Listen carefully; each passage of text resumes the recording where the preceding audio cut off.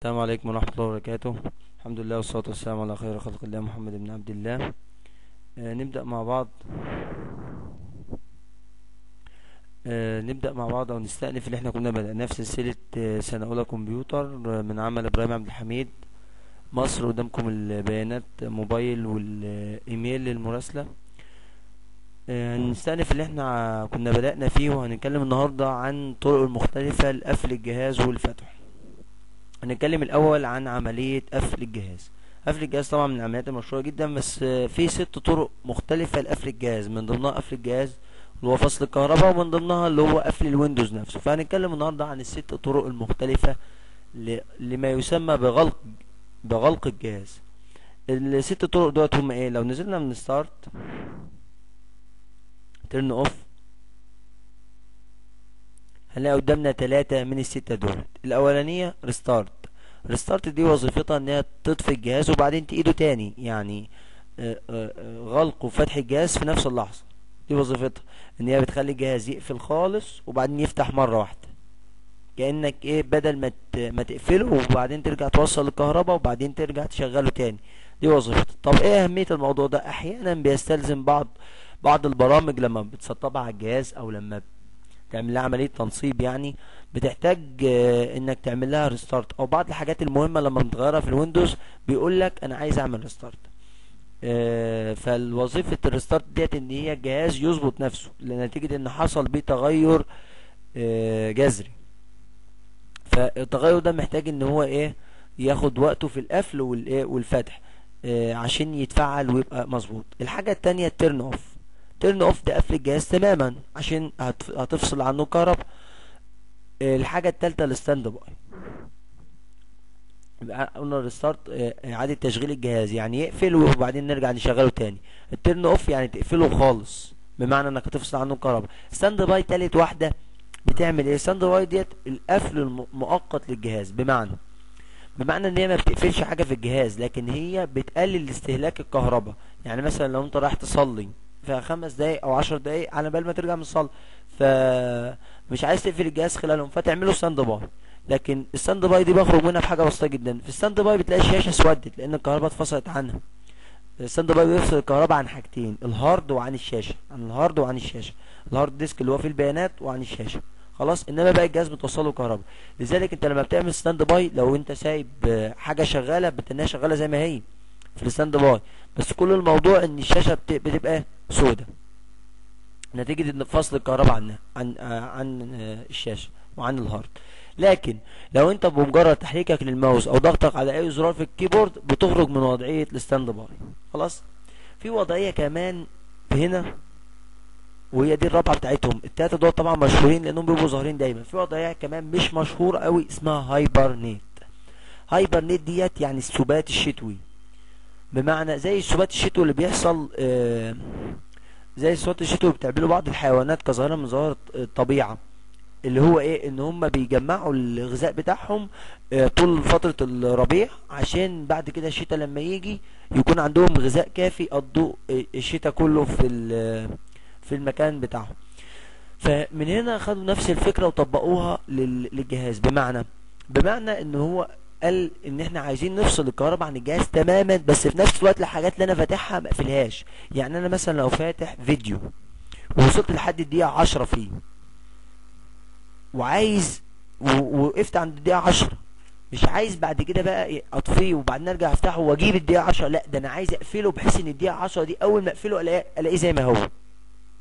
كأني ما قفلتوش أصلا. فدي فكرة ال hibernate دي فكرة ال hibernate السبات الشتوي. إنك تقفل الجهاز كأنك ما قفلتوش. تقفله وتفصل الكهرباء وتسيبه شهر اتنين تلاتة ترجع تلاقيه زي ما هو زي آخر مرة أنت سيبته فيه. خلاص دي وضعية ال hibernate وبتاخد وقت شوية يعني عن بقية الوضعيات لأن بي بيحصل فيها إيه؟ نسخ لملفات اللي موجودة جوه الرامات.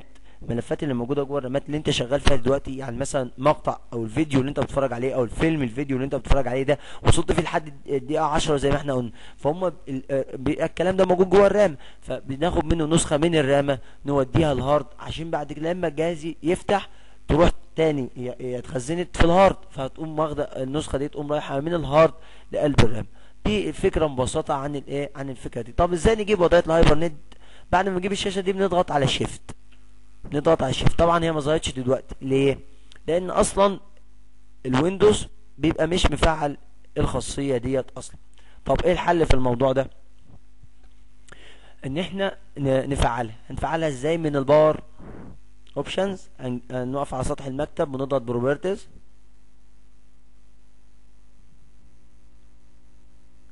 بعدين نجيب screen saver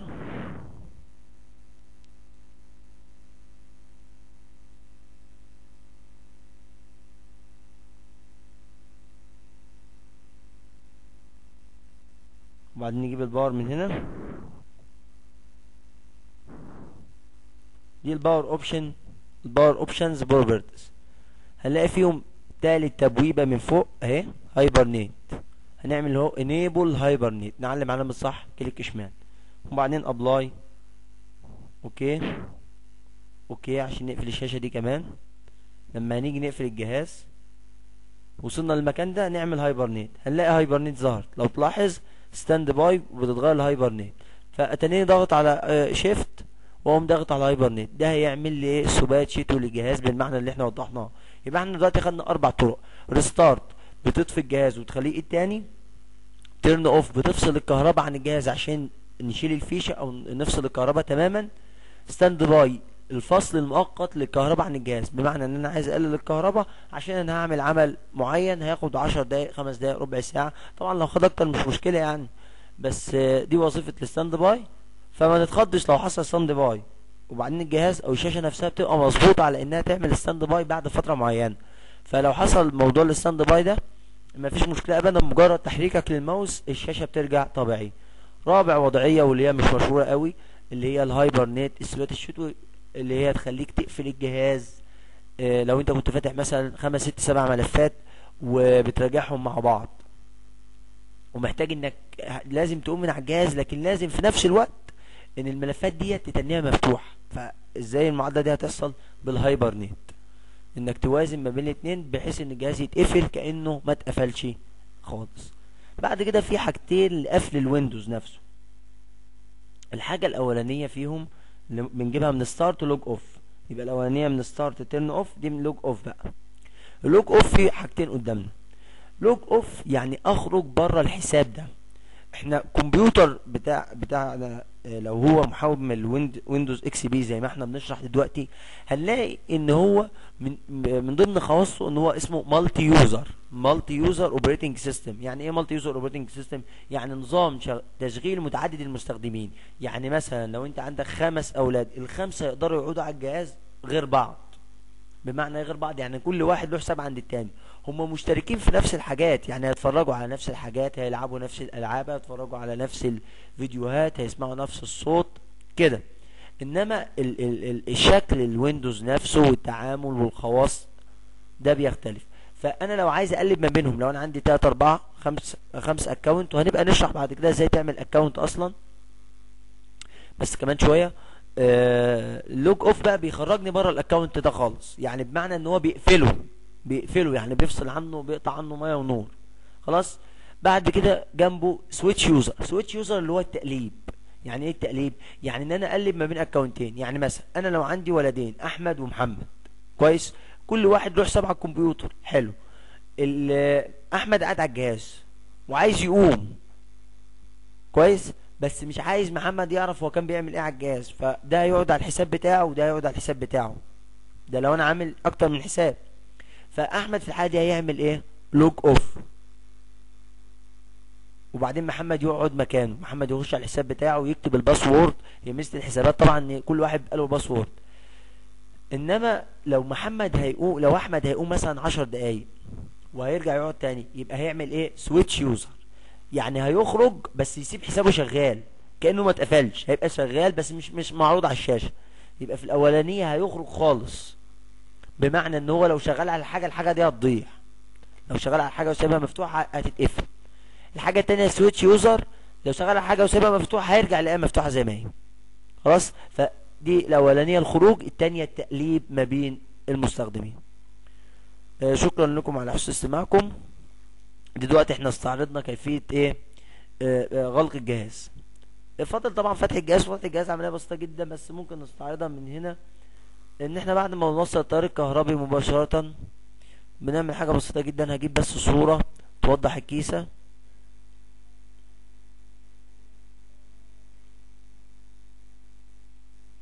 دلوقتي ده شكل من أشكال الكيسة. في الشكل ده هنلاقي فيه زرار أزرق. ده غالبا زرار ال power وفي زرار تحت صغير ده زرار ال restart. فبعد ما بوصل الكهرباء بقوم دايس على زرار ال power بس اللي هو الزرار الكبير أو الزرار اللي معمول عليه علامة الدايرة اللي فيها شرطه اللي هي زي هنا أهو في turn off حضرتك واخد بالك هتلاقي هنا أهو في دايرة حمراء أهي دايرة قصدي بيضة وفي شرطة في بيضة في وسط العلامه الحمراء دي. فهي هي نفس الفكرة. هنلاقي في زرار عليه العلامة ديت يبقى ده زرار ال power أو هيبقى مكتوب عليه power. والتاني مكتوب عليه أو جنبه power والتاني ده بتاع ال restart خلاص؟ إحنا بنقيد منين؟ بنقيد من بتاع ال power. يبقى كده عرفنا إزاي نقيد الجهاز وإزاي نطفيه الناس اللي مش عارفة. ممكن ناخد شكل الكيسة كمان. الزرار الكبير power الزرار الصغير restart دي حاجة محفوظة. لو الاتنين قد بعض ده هتلاقي مرسوم عليه رسمة وده هتلاقي مرسوم عليه رسمة.